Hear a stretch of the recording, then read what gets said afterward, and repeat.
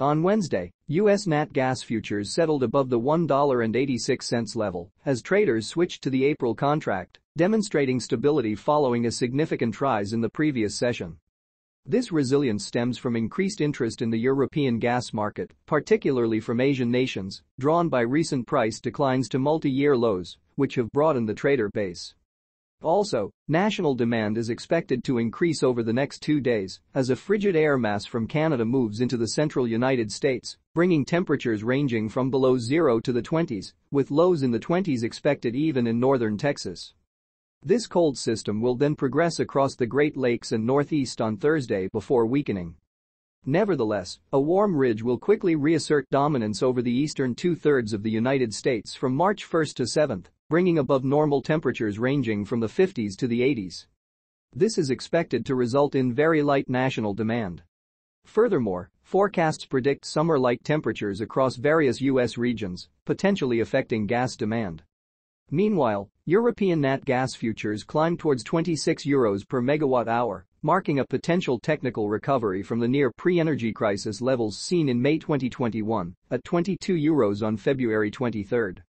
Lower natural gas prices could result in increased demand from Asia, particularly raising concerns about LNG supplies.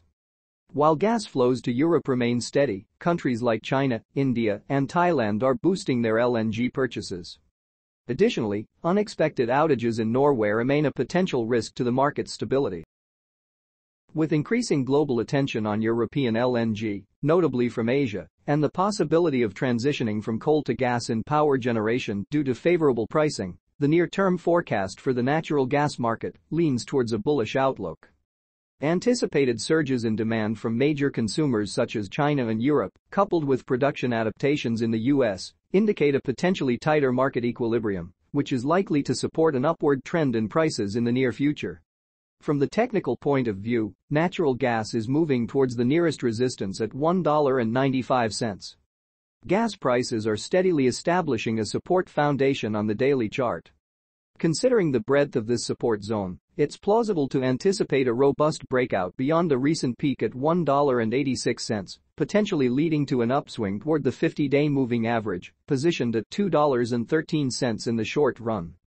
Conversely, Downside support for the near-term futures contract seems to be between $1.80 and $1.70. Thank you for watching. Please don't forget to support the channel if you enjoyed the video. See you in the next one.